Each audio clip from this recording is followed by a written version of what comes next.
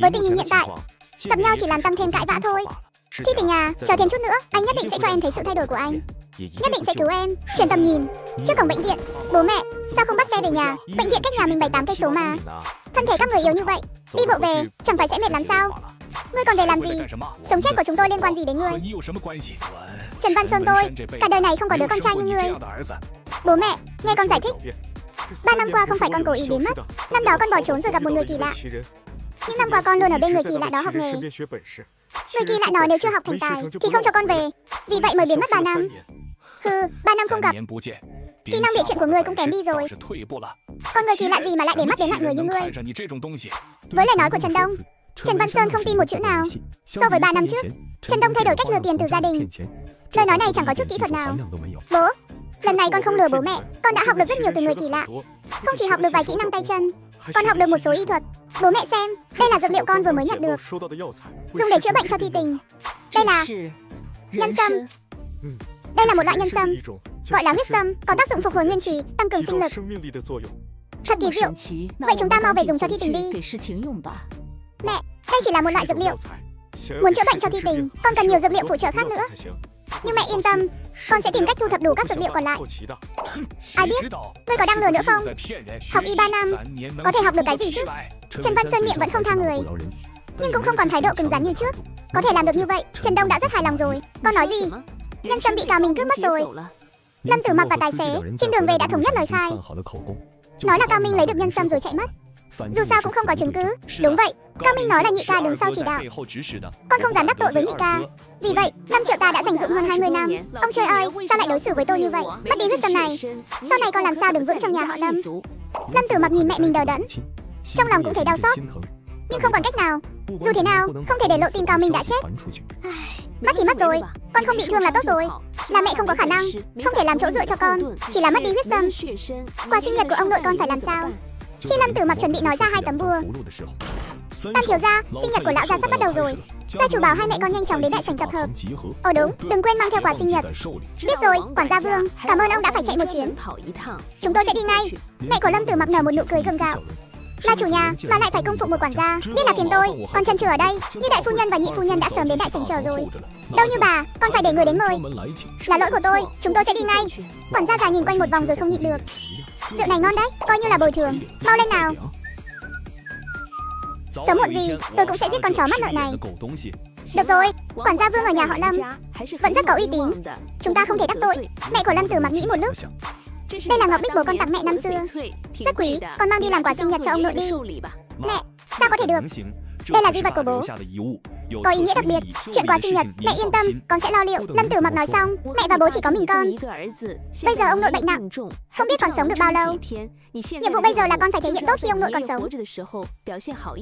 Sau này có thể được chia nhiều tài sản hơn. Một khi ông nội qua đời, hai mẹ con chúng ta chắc chắn sẽ bị đuổi khỏi nhà họ Lâm. Con phải chuẩn bị cho tương lai của mình. Chúng ta mau đi thôi. Không thể để họ bắt lỗi thêm nữa. Không để Lâm Tử mặc có cơ hội nói. Mẹ anh kéo anh đi về phía đại sảnh nhà họ Lâm. Khi đến đại sảnh mới phát hiện những người khác cũng vừa đến. Quản gia Vương đã lừa họ. Về việc này, mẹ con Lâm Tử Mặc chỉ có thể nuốt nước mắt vào trong. Em dâu, nghe nói mấy năm nay em dành dụng được ít tiền, có đến vài triệu cờ đấy. Hôm nay là sinh nhật 80 của lão gia, có phải định tặng một món quà khiến mọi người kinh ngạc không? Chắc chắn là Lâm Tử Thắng đã nói chuyện quà sinh nhật với mẹ anh ta. Chỉ chờ để làm mẹ con tôi vẽ mặt. Nhị tẩu, tình hình của tôi chị cũng biết mà.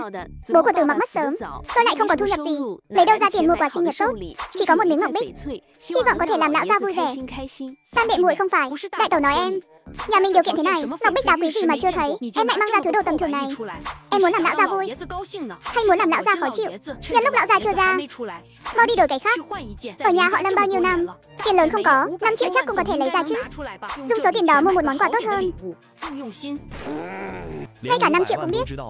Đúng là bọn khốn này đã thông đồng với nhau. Ai nói, chúng tôi không có quà tốt. Qua lần này tôi mang đến. Có thể chữa khỏi bệnh cho ông nội. Trong chốc lát, đại sảnh im lặng như tờ. Tử mặc à, Loại chuyện này không thể đùa được Chẳng lẽ con tìm được linh đan rượu dược gì? Nhị bá, con có linh đan rượu dược hay không? Người còn không rõ sao? Người không rõ? Nhị ca chẳng lẽ không rõ? Con không có thuốc. Nghe đến đây, mọi người đều thở phào nhẹ nhõm. Xem ra huyết sâm thật sự bị Cao Minh mang đi rồi. Nhưng không có thuốc. Lâm Tử Mặc nói chữa khỏi là ý gì? Con tuy không có thuốc Nhưng con có bùa của thần tiên đại ca cho. Cả đại sảnh lại rơi vào im lặng. Tử mặc Con, con đây. Con thật là quá hồi nháo rồi. Nói chuyện thành bùa cũng được đi. Lời của kẻ lừa đảo mà con cũng tin. Con nói ra một cách tự tin như vậy. Nếu chuyện này lan ra ngoài, Chẳng phải sẽ bị cười nhạo. Nhà họ Lâm chúng ta có kẻ ngốc sao? Tam đệ, Cậu có phải bị kích động đến phát điên không? Ông nội là người thương cậu nhất. Con lại báo đáp cậu như vậy. 200 đồng. Nhà mình thiếu 200 đồng của cậu sao? Cậu đang sỉ nhục ông nội đấy à? Đã nói rồi. Tam đệ mất sớm. Chỉ dựa vào em dâu nông dân nuôi dạy, cuối cùng cũng chỉ nuôi ra kẻ không có giáo dục. Tầm nhìn hạn hẹp. Con xem, giờ lại bày ra trò thần thánh này. Bồ đã xuất hiện. Mẹ con lâm tử mặc lập tức trở thành đối tượng bị chỉ trích. Thôi được rồi tử mặc đại bá luôn biết con là đứa trẻ hiểu chuyện. hôm nay sao lại làm ra chuyện hoang đường như vậy? bây giờ ông nội con đang nguy kịch bao nhiêu gia tộc đang nhòm mó nhà họ lâm chúng ta để chia cắt chúng ta thậm chí phải tổ chức tiệc sinh nhật trong nhà một cách lén lút không dám mời bất kỳ khách nào. Hôm nay con làm ra chuyện ngu ngốc này mà lan ra ngoài. Sẽ ảnh hưởng rất xấu đến nhà họ lâm chúng ta. Đừng để tái diễn nữa nhé. Lúc này bác sĩ riêng của nhà họ lâm từ phòng bước ra lập tức thu hút sự chú ý của mọi người. Bác sĩ, ông nội tôi sao rồi? Chúng tôi em là bất lực rồi. Đã dùng mọi biện pháp. Nhưng sức khỏe của lão gia vẫn ngày càng tệ. Em rằng không qua nổi đêm nay. Tin dữ bất ngờ khiến lâm từ mặt mặt mày tái nhợt. Trong nhà họ lâm, ông nội là người thương anh nhất. Từ khi ông nội ngã bệnh, anh không còn cảm nhận được sự ấm áp của nhà họ lâm. Các người nên đi gặp lão gia lần cuối đi. Không đợi bác sĩ nói xong, lâm tử mặt đã lao vào trong.